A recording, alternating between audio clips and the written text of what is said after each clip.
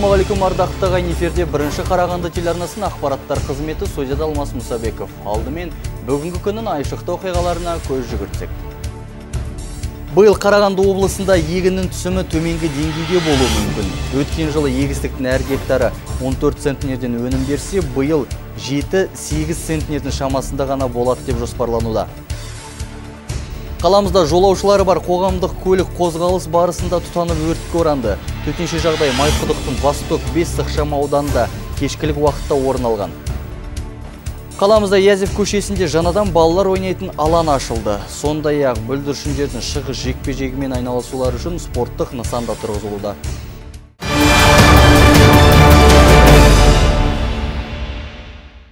Биыл Қарағанды облысында егіннің түсімі төменгі деңгейде болуы мүмкін. Өткен жылы егістіктің әр гектары 14 центнерден өнім берсе, биыл 7-8 центнердің шамасында ғана болады деп күтілуде. Тиісті ақпаратты ауыл шаруашылығы басқармасының өкілдері облыс әкімі Ерлан Қошановқа Нұра ауданына барған сапарында баяндады. Нұра аудандағы ірі шаруа қожалықтарының егін науқанына дайындығын облыс әкімі өз барып тексерді. Бірінші кезекте аймақ басшысы қайнар шаруашылығының егістік алқабын аралады. Фермер облыс басшыларына егін жинайтын техникаларын көрсетті. Ерлан Жақанұлын ресейлік жаңа техникалар қызықтырды. Благодаря несінен өнімділігінен, производительнен жөндерден артқымыз келмес. Бұнда қазір двигательдері 360 күші бар. Ол бункерлері 9 кубтық. Бағасы қалай? Бағасы нелерден жөндерлердің нелер басқа не деп арзан елу миллион теңге да Шаруашылық иесі Сейт Жапар Нығметов облыс әкіміне егін науқанына толық дайын екендігін жеткізді. Әрине былтырғы маусымдағы егін түсімін күтуге болмайды. Дегенмен негізгі жағдай ауа райына байланысты. Ауыл шаруашылық басқарма басшысының айтуынша, биылғы түсім гектарына 7-8 центнерден күтілуде.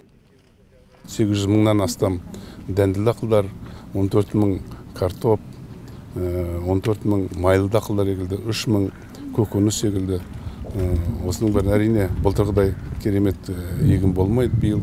Дегенмен кейінгі 15-20 жылдағы сараптап көрсек біздің облыста осы жеті мен онның арасындағы центнер бидай алынады екен. Мысалы соның биыл біз жеті сегіз центнер аламыз ба деп ойлап отырмыз. Ал отқанжар шаруа қожалығында асыл тұқымды қойлар өсіріледі. Қожалық иесі басшыларымен субсидия және ет өнімдерін экспортқа шығару мәселелерін талқылады. Иә сол мемлекеттен субсидия аламыз. Биыл енді бір бастан алдық та екі жарымнан төлейтін болды бірінші кілем заводтарға бұрын мың жарым сол осы асыл тұқымды қошқарларды сол нетеміз таратамыз. Облыс әкімі келесі сапарында дәнді дақыл тұқымдарымен айналысатын шахтер шаруашылығына барды. Онда шаруашылық басшысы қонақтарға 26 тонна сақталған астық пен бидай кептіруші құрылғыны көрсетті. Аталмыш құрылғы сағатына 80 тонна бидайды кептіруге қауқарлы. Сондай ақ былтыр мұнда көкөніс сақтайтын қойма да салынған. Бұл қоймада желдеткіш орнатылып қажетті жағдайлар жасалған. Облыс әкімі компания басшысымен өңірді астықпен қамту шарасын қарастырды. Сколько тонн будет ну нам 200 тонн меморандум подписали. На этот год. Потом областное департамент сельского хозяйства установит на какое время и определит цену, которую будем эти 200 тонн выпускать. Как раз мы интервенцию сделаем в то время, когда пойдет удорожание. Вот многие хозяйства, они полностью, 100% вывозят за пределы. Да. Мы понимаем, надо на экспорт вывозить, продавать, это выгодно. Но в то же время, раз мы в области оказываем помощь, государственную помощь, и учитывать надо и наши интересы. аймағымызда жаппай егін науқаны қыркүйектің онында басталады. Өңірдегі шаруа қожалықтарында биылғы науқанда аграрлық техника мен жанар жағармай жеткілікті. Қазіргі таңда шаруаларға арзан бағамен төрт тонна дизель отыны үлестірілуде. Биыл күзгі егін орысына үкімет тарапынан арзандатылған 14 мың литр жанар жағармай бөлінген. Соның бәрін қазір келісімшартқа отырып біздің егін орушылар ала бастады. Облыс әкімі нұра ауданына сапарының соңында шахтер ауылындағы дене шынықтыру сауықтыру кешені мен хауызға барды. Шахтер кентіндегі бұл нысандарды кәсіпкерлер мемлекеттік мекемелермен бірлесіп салған. Жаңабек наров жасұлан мақұлбеков дастан шанин бірінші қарағанды телеарнасы. Ал қаламызда жолаушылары бар қоғамдық көлік қозғалыс барысында тұтанып өртке оранды. Төтенше жағдай Майқұдықтың Восток 5 ықшам ауданында кешкілік уақытта орын алған. Жалынға оранған маршрутты көлікті оқиғаның куәгерлері бейне жазбаға түсіріп желілерге жүктеген. Белгілі болғаны 014 бағытындағы паз маркалы шағын автобус жанған. Алдын ала болжамға сүйенсек, от сым желілерін тұйықталуынан тұтанған. Абырой болғанда көлік жүргізушісі дер кезінде жолдың шетіне тоқтап жолаушыларды түсіріп, өрт сөндірушілерді шақырған. Төтенше оқиғадан зардап шеккендер жоқ. Қазіргі уақытта Манас автопаркі оқиғаны анық анықтауда. Площадь пожара составила 20 квадратных метров. Өрттің аумағы 20 шаршы метрді құрады, зардап шеккендер жоқ. Өртті сөндірге үш техника мен жеке құрамның 13 адамы жұмылдырылды. Айта кетейік кеше шаһарымызда бір емес бірнеше темір тұлпар қызыл жалынға оранды. Дәл осы күні кешкілік көгілдір тоғандар ықшам ауданында жеңіл көлік өртеніп кетті. Ал түнгі уақытта Гүлдер екі ауданында автокөлік тұтанып отқа оранды. Жылдам әрекет еткен құтқарушылар тілсіз жауды ауыздықтап қайғылы оқиғалардың алдын алды.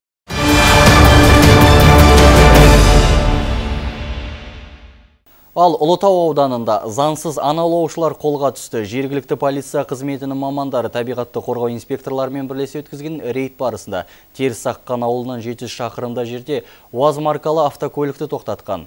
Тексеріс барысында көліктің ішінен киік еті мен пышақ табылған. Оқиға орнына ішкі істер бөлімінің жедел тергеу тобы шақыртылып, 24 жастағы көлік жүргізушісі мен 26 жастағы жолаушының жергілікті тұрғындар екендігі анықталды. Қос күдікті мойындау көрсетпелерін берді. Көкен жануарын жаңағы сойып бауыздап машинеге салып алған екен. Сол бойынша қазір ішкі істер басқармасымен қазақстан республикасының қылмыстық кодексінің үш жүз отыз жетінші бабы бойынша қылмыстық іс қозғалды. Қазіргі таңда тергеу амалдары жүргізілуде. Автокөліктен жаңа ақбөкен денесі мүшесі және пышақ табылды. Соның бәрі тәркеніп автокөлік бәрі тәркеніп тергеу амалдары жүргізілуде.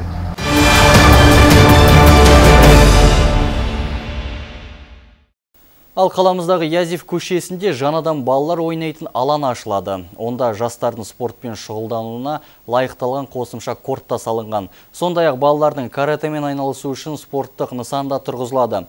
Бұл құрылыстар елбасының рухани жаңғыру мақаласына орай арнайы туған жер бағдарламасы аясында атқарылуда бүгінгі таңда елімізде карате әр аулада атты жоба жасалған. Ол жобаны қарағандылық карате филиалы қаламызда жүзеге асырды. Язев көшесінде балалардың ойын алаңы футбол алаңы салынып спорттық нысан тұрғызылуда. Спорттық нысанда арнайы мектеп те ашылады. Онда жастар каратемен йогамен шұғылданады. Сонымен қатар спорт залда стрит воркаутпен де айналысуға жағдай жасалмақ.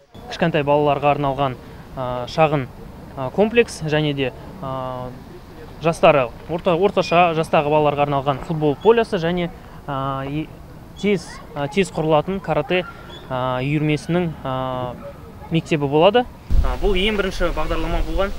Алда бізде әлі мақсаттарда әрбір әрбір аулаға әрбір үйдің ауласына осындай карате мектебі болса деп армандаймыз. Александр жижин 30 жылдан бері язев көшесінде тұрады. Зейнеткердің пікірінше осындай шаралар жастардың спортпен айналысуына бірден бір себепкер болады. Қария қазір немерелерін тәрбиелеп отыр. Кейде немересін ертіп ойын алаңына келеді. Балалар алаңда асыр салып емін еркін ойнап қуанышты көңіл күйде. Жильцы благодарны. Спорт кешенінің салынғанына тұрғындар да риза. Балаларымызға жақсы болды. Енді ата аналар да алысқа бармайды. Менің немерелерім пришахтинскийде тұрады. Енді осы алаң үшін үнемі келіп тұрамыз дейді. Балаларды сауықтыру ойын алаңы мен аула клубы қыркүйектің 15-інде толығымен дайын болады. Алдағы уақытта осындай үш спорт кешені қолданысқа берілмек. Осынау спорт орталығы мобильді ойыншықтармен үйде қамалған балалардың санасын жаңғыртып денінің саулығын қалыптастыруға септігін тигізбек. Жаңабек наров сергей високосов дастан шанин бірінші қарағанды телеарнасы. Қарағанды облыстық тарихи өлкетану музейінің 85 жылдығына арналған облыс музейлерінің апталығы акциясы аясында Долинкадағы саяси қуғын сүргін құрбандарын есте сақтауға арналған көрме жұмысын бастады. Ағымдағы жылдың 15-22 тамыз аралығында өтетін көрмеге жүзден аса экспонат ұсынылған. Мұржай туған жерінен жер аударылған біртұтас халықтар мен саяси қуғын сүргінге шыраған боздақтардың суреттері және құжаттарымен толықтырылған. Долинка кенті халқымның қайғысы мен қасіреті есімде менің тақырыбында халыққа көрмесін ұсынды. Экспозициялық кеше 1920-1930 жылдардағы Қазақстандағы ашаршылық, Қарағанды еңбекпен түзеу лагері, тергеуші кабинетінің инсталляциясы, Карлактың танымал тұтқындары, Алашорда, депортация, тәуелсіз Қазақстан, музейдің күнделікті жұмыстары деген тақырыптарға бөлінген. Көрме 20 ғасырдың 30 жылдарындағы офицер құжаттарымен, киімдерімен және қару-жарақтарымен толықтырылған біздің мұражайымыздың барлық экспонаттары тек қана түпнұсқа экспонаттар. Ешқандай бутафория біздің мұражайымызда мүлдем жоқ. Тек қана көне заттар немесе жаңадан жасалған инсталляция. Болады оның ішіне әр тек қана сол жиһазбенен муляж мүсіндер кіреді. Ал енді заттардың барлығы сол көне үлгідегі отызыншы сексенінші жылдар аралығындағы заттар. Салтанат қосыбаева көбінесе көне экспонаттарды қызықтыратынын айтады. Қала тұрғыны дубовка кентіндегі саяси қуғын-сүргін құрбандарын еске алу мұражайы туралы көп естігенмен барып көріп қайтуға мүмкіндік болмады дейді. Бүгін сәті түсіп осы мұражайға арнайы келген. Көрме арқылы зобалаң жылдарда өмір сүрген ата бабамыздың қиыншылықтарын сезінгендей болдым дейді салтанат. Ата бабамыздың көрген бастарынан өткен тауқыметтерін көрсетіп жатыр бізге. Ол жаққа бармасақ та бүгін әсер алдық деп айта аламыз. Ата бабамыздан қалған ескерткіштерін көрдік. Солардың көрген қиыншылықтарын сезінгендей болып тұрмыз бүгін деп ойлаймын өзім. Сондай әсердемін. Болашақ жастарға да барып көріп осыларды білсе үйренсе әжептәуір болады оларға да деп ойлаймын. Өз басым солай. Қазір көріп өзі сол кісілердің басынан өткен қиыншылықтарын сезінгендей болдық енді. Долинка кентіндегі саяси қуғын-сүргін құрбандарын еске алу мұражайы қазақстан республикасының президенті нұрсұлтан әбішұлы назарбаевтың тапсырмасына сәйкес 2002 жылы құрылды. Халқымның қайғысы мен қасіреті есімде менің атты көрмесі 15-22 тамыз аралығында халыққа тарихы терең экспонаттарды ұсынбақ. Кез келген қала тұрғыны облыстық тарихи өлкетану мұражайында өткізіліп жатқан акцияға қатысып тегін тамашалай алады.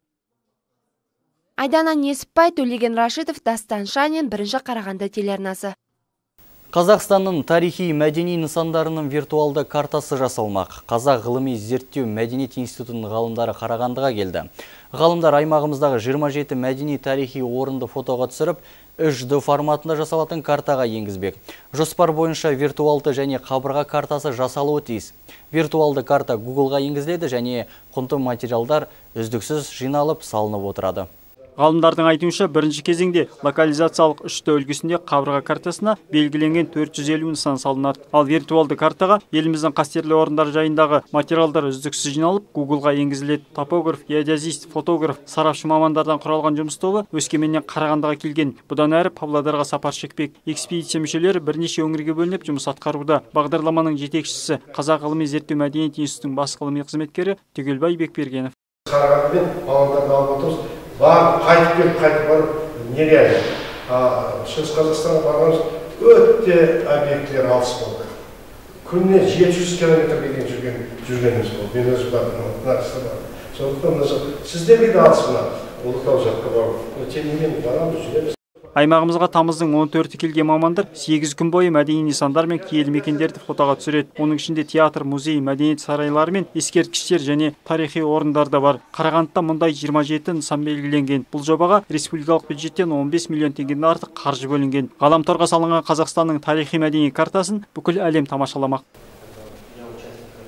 Мен бұл жобаға қатысқаныма қуаныштымын. Осы жоба арқылы бүкіл әлем елімізді танитын болады. Қазақстанның көрнекі тарих орындарын түсіріп, көпшілікке кәсіби деңгейде ұсынамыз деп ойлаймын. Виртуалды картаны жасауда еліміздің туризм индустриясын дамыту мақсаты көзделген. Сондай-ақ еліміздің тарихы, географиясы, мәдениет салалары бойынша құнды деректер жарияланады. Бұл жоба елбасының рухани жаңғыру бағдарламалық мақаласы аясында жүргізілуде. Жаңабек Наров, Сергей Высокосов, Дастан Шанин, бірінші Қарағанды телеарнасы. Қала тұрғындарының назарына 16 тамыз күні су желісі құбырларын жөндеу және ауыстыру жұмыстарына байланысты Курянов кенті Майқұдық және Пришахтинск шағын ауданында ауысу уақытша тоқтатылатынын хабарлаймыз. Сол себепті де жауапты мекеме мамандары аталған елді мекендердің тұрғындарына бір күндік су қорын жинап алуға кеңес береді. Компания өкілдері уақытша туындаған келеңсіздіктер үшін алдын ала кешірім сұрайды.